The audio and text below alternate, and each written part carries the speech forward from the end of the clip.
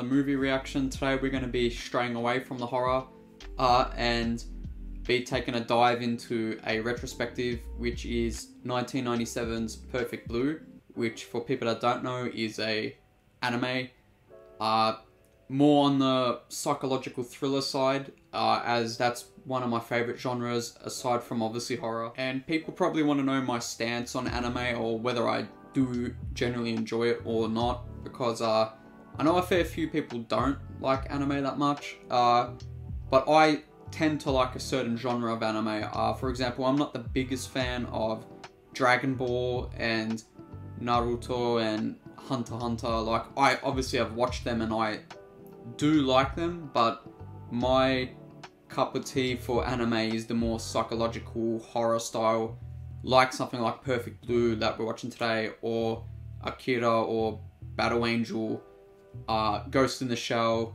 Cowboy Bebop's one of my favorites. You know, I'm more on that side of the anime spectrum rather than just people screaming and fighting. I'm not the biggest fan of that. And yeah, right before we get into it, I do want to say that this is not the dub version. I don't even know if a dub version exists for Perfect Blue, so this will be in Japanese and it will be subs of English, obviously.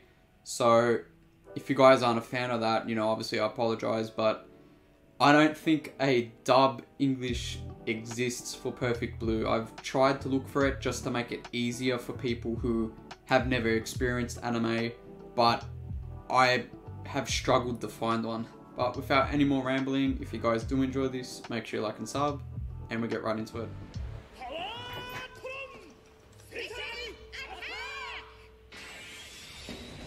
I still love late 80s to 90s anime because it's all hand drawn. I just love the graininess it has. So I'm pretty sure that's like early day Power Rangers. I'm pretty sure.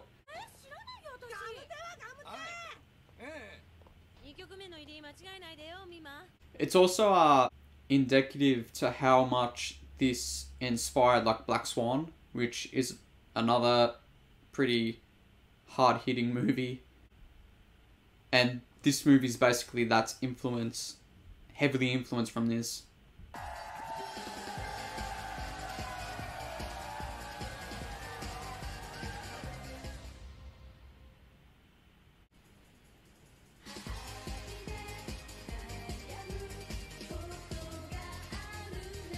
Also a good commentary on like the teen pop idol too. This movie definitely has that.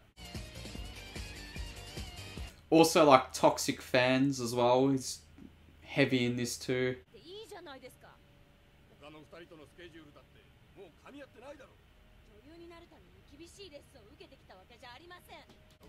Right, that's right. She wants to leave the music business and become an actress. That's right. Because she pretty much hates being a singer. And she wants to find another avenue.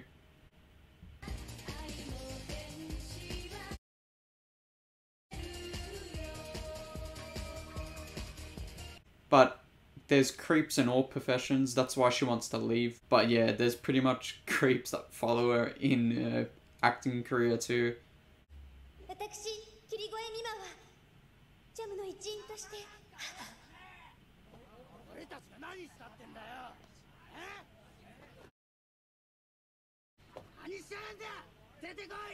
Security, get the security on this guy.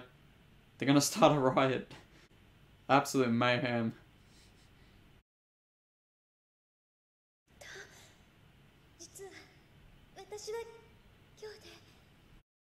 Just say it.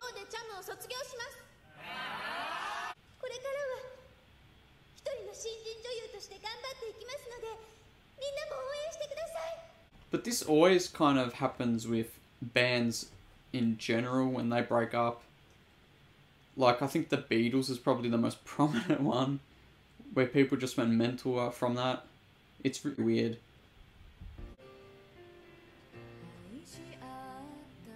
The soundtrack's good in this too.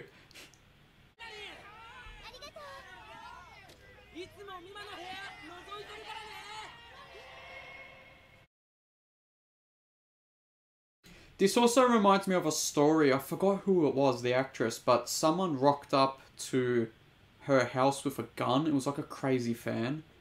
I forgot who it was. I'll pop it up now if I remember.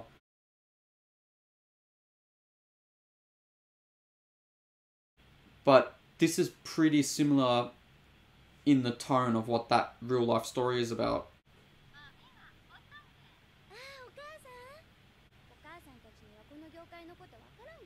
Yeah, it's probably shit. That's why she wants to leave. Right. The pop idol's ruining her.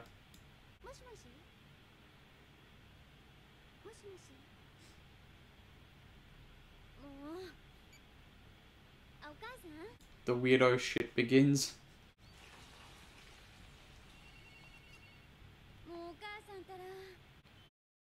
I don't think it's your mom.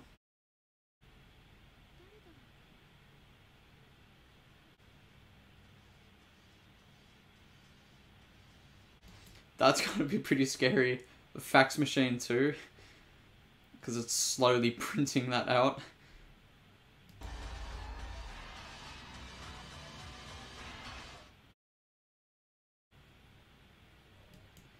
I mean, this is just another cesspool of depression as well, though, the film industry.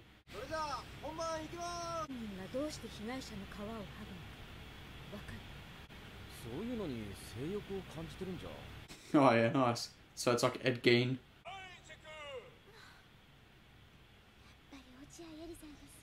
Hopefully he doesn't make them do a hundred takes like, like Kubrick.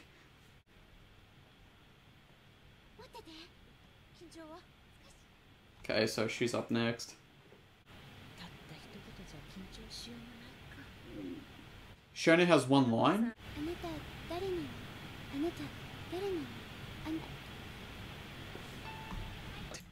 So yeah, now she's gonna get like paranoia and distress. She thinks everyone's laughing at her. She only has one line though, so it shouldn't be that difficult. So yeah, it's like anxiety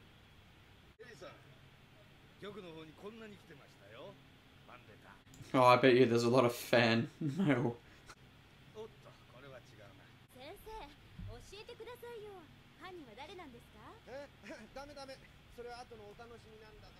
oh, so he's not going to spoil the movie. Oh, he hasn't even written the script yet? Wait, what? They're just doing it on the fly?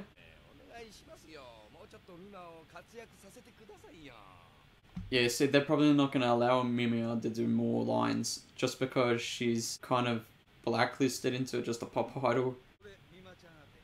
Oh, okay, so she got a fan letter.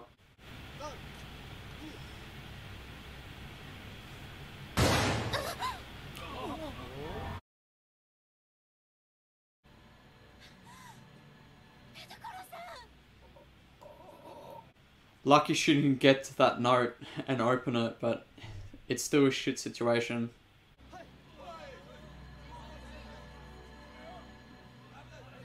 I still love these shots though, they're so good.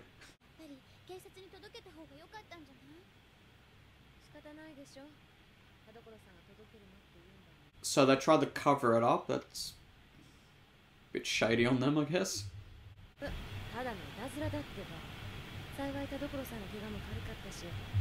Oh, okay, so it wasn't a real bomb, that's right. It was more like a fake, probably like a little gunpowder or some shit in it.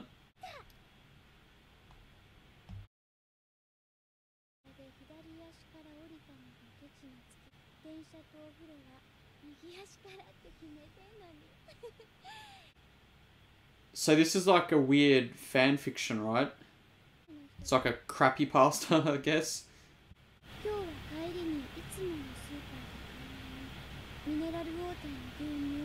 Right, so that's what she was buying at the start, so someone's clearly stalking her.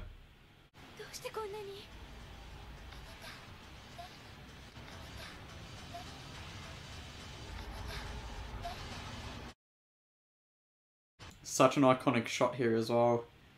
And that's her line. And I love how that's a reoccurring line, like that's her only line in the movie, and she kind of delivers that a lot in this movie. 今 今時アイドルがアピールする場所自体がないんだよ今が生き残れるかどうかの選択なんだって Yeah, it's almost like conveyor belting like pop idols where she would eventually get out of fashion, I guess, and then onto the next person. Kind of, yeah, like a conveyor belt marketing. Instead of staying relevant for your craft, you get produced as a product.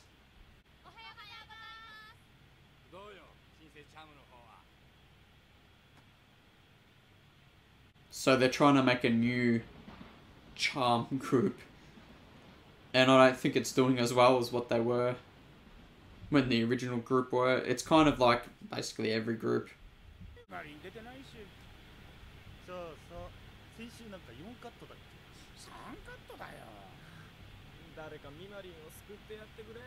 So there's the old creep, I guess. That's who they had. Yeah, that's right. They had a little argument before. So yeah, she's all paranoid to travel now. She should not even use public transport, to be honest, especially if she's becoming a big star.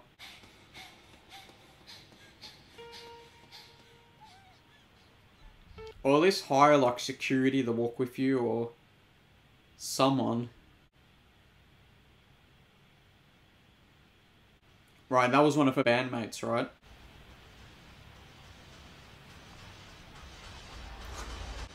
Such a creepy shot too.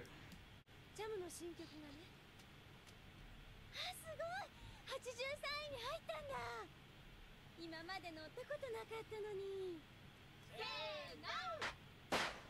See, so she's getting replaced and they're succeeding and she's failing, so she's gonna get even more anxiety and stressed out from that. And then people are gonna just creep around with her even more. 今扮する高倉陽子はストリップ劇場で客にレイプされたことでガラッと性格が変わるんだ冗談じゃありません What? I forgot about that. she has to. I'll probably have to cut that word out. She has to. Get, she gets assaulted in the film, I guess. It's probably the most lenient way to say that.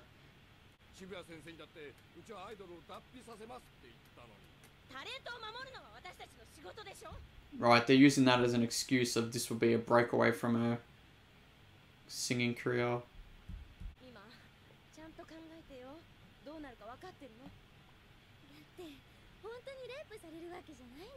Yeah, but it's gonna ruin your your image.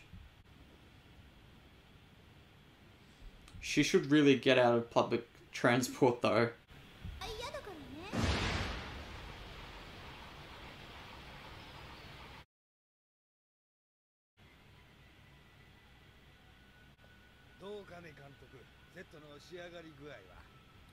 Yeah, maybe check that there's no weirdos here.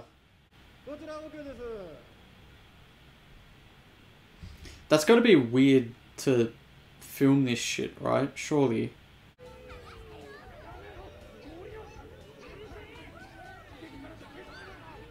That's gotta be so awkward to watch though. And that weirdo's gonna be here filming, isn't he? What kind of movie is this though that they're doing?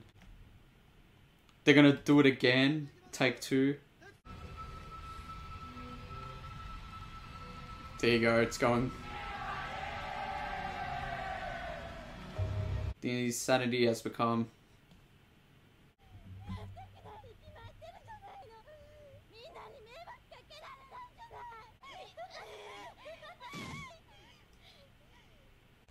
Psychological traumas happen too.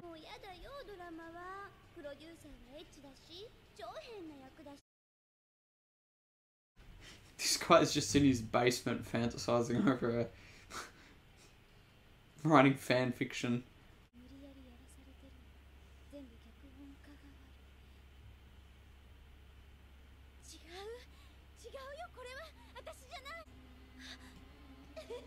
The psychological torment's insane in this, though.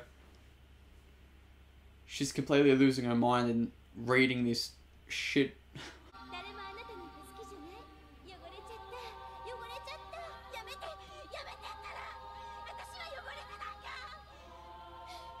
I also assume this might be also a commentary of, obviously, Japan back in the 90s, how they viewed uh, teen pop idols, I guess. Well, actually, it's kind of.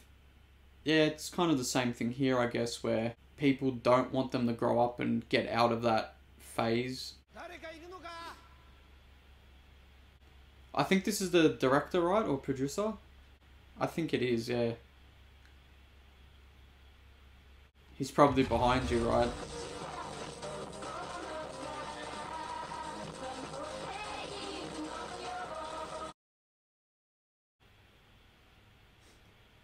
Brutal. Absolutely brutal. Yeah, she's just completely lost it now.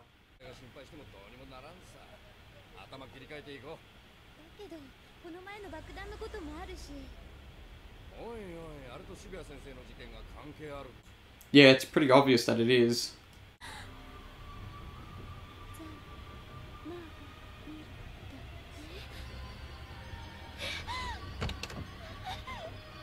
She's just gonna open it, walk out the car like that.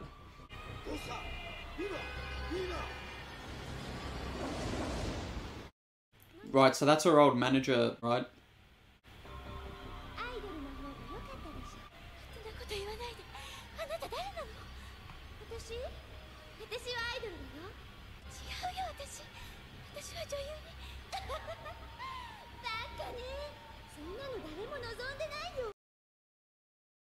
And that uh, that creepy guy's not gonna like this because he wants her more innocent, I guess, in a weird way.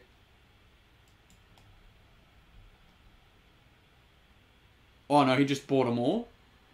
Okay. What the hell? How much memorabilia does this man need?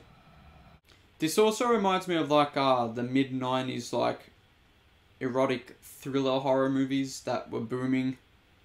I still think this is probably the best one because it has the commentary on idols and all that. But yeah, this was in that same kind of cesspool year of just all those weird erotic thriller movies.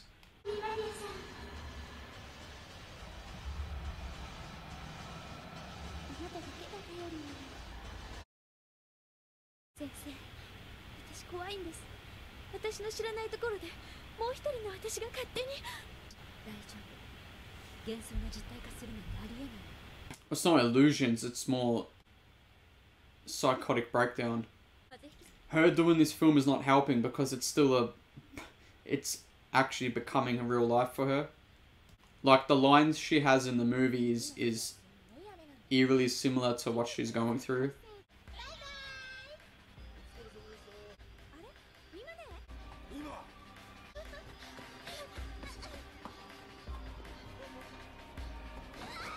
Chasing after no one. She's just gonna look psychotic doing this.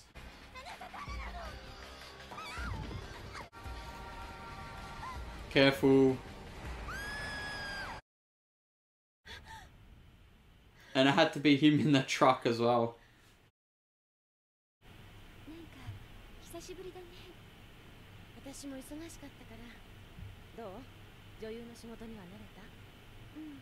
That's the problem though, but she doesn't like what she's become. And that's also a pretty big topic in this film.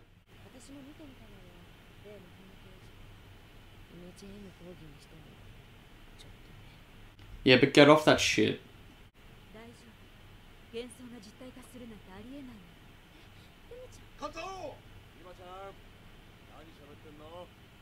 Yeah, she's completely lost it. And this idiot's just still here she's like warped into a mental prison as well. She's just having breakdown after breakdown. And yeah, it's just becoming an endless loop for her.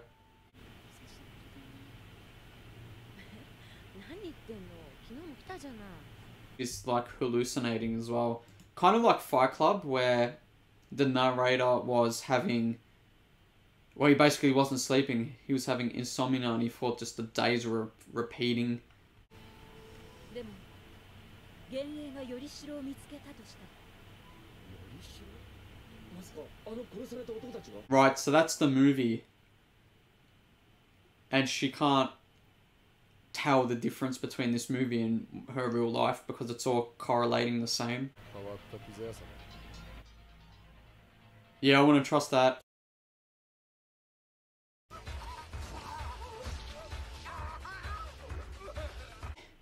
Just got stabbed right in the eye. Brutal.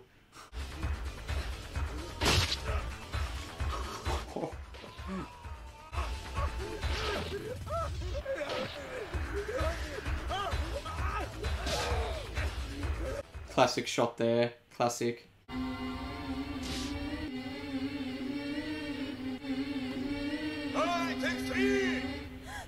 Did she kill this person or not? That's left to be seen, but she's completely losing it, living a double life. Kind of again like Fight Club.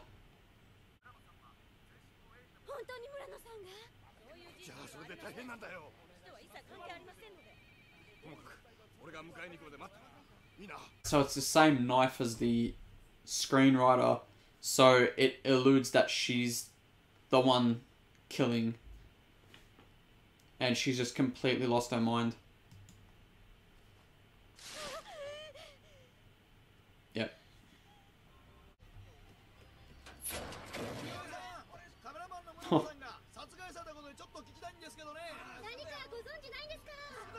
Was this just at the front door? She needs better security.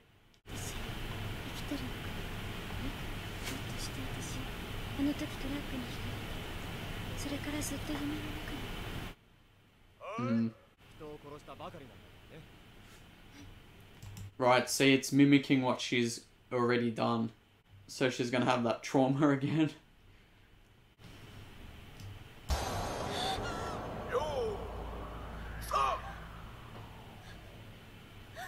almost like Groundhog Day too, but a much more psychological horror version.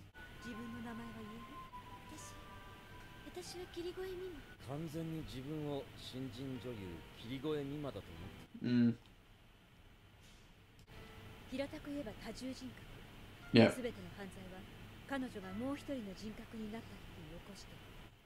I just love this. Uh, some mind-bending. Such a psychological twist, just she doesn't know what's real or fake anymore.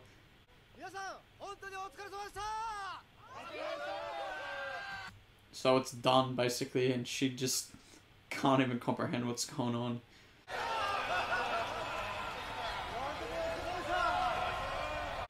Here we go.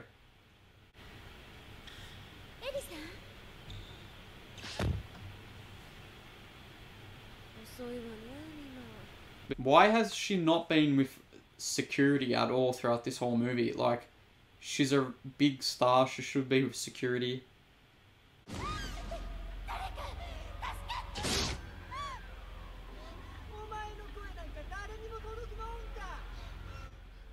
Right, so now this is going to become a reality.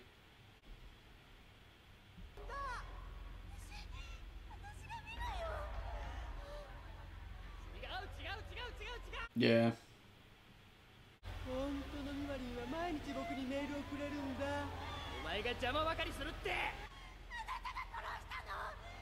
うすぐお前も Stab him. Surely the people out there can hear this. I mean, it shouldn't. Oh, it probably is soundproof because it's an actual studio, isn't it?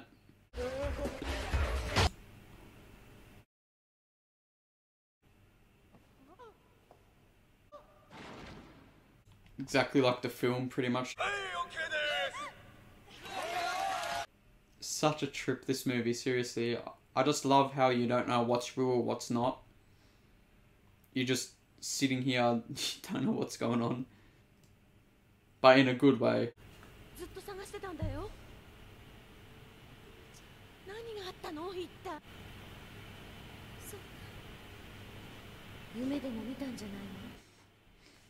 Just so much great uh, detail with the psychology in this movie too.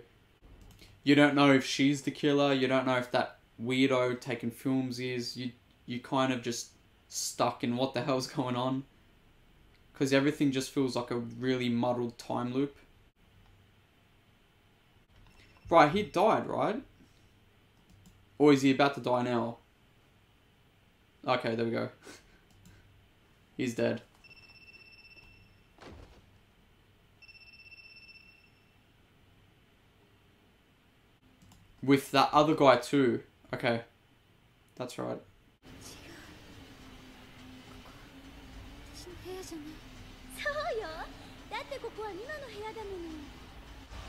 ょう私にぴったり Right. ルミちゃんはもう帰ったよ仕事が忙しくて寝不足だって That mirror shot is amazing though. She doesn't know who she's seeing. してあの人でも仕方ないよね あなたのことは自分でまいた種だから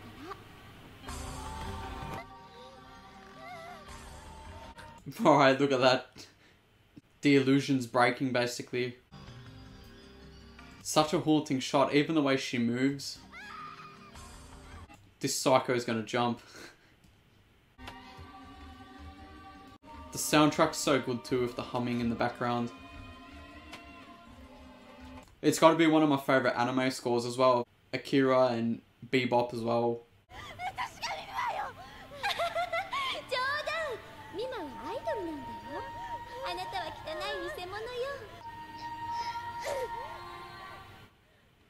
There we go.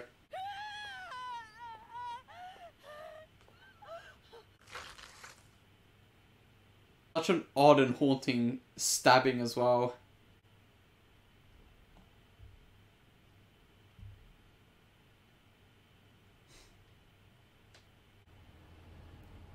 Car. Such a good shot.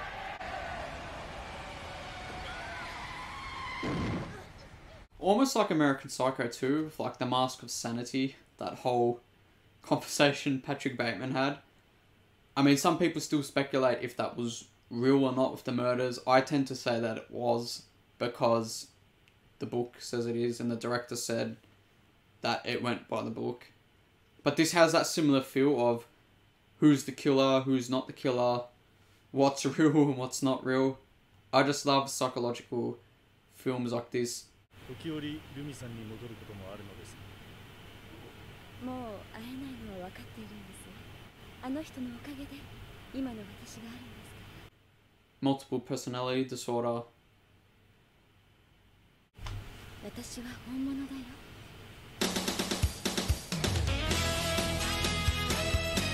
Uh, 1997's Perfect Blue. A- again, I-, I love these movies. Uh, it has really held up, and again, it's still a very good message for even today's world. Uh, obviously, the internet stuff was fairly new back then, so not particularly that, but the whole concept of teen idol and uh, kind of growing out of that, and also obsessive fans and all that, to borderline psychos. Uh, I, I love the whole message of this movie and also the cinematography. Yes, it's animated, but it's still really, really good. And yeah, that's about it. There's nothing much more to add because uh, I think the the title says itself. Uh, it is pretty much perfect of a film. Uh, there's no real negatives, I would say, at all. And yeah, that's pretty much it for today. If you guys did enjoy this, make sure you like and sub, and I'll see you in the next one.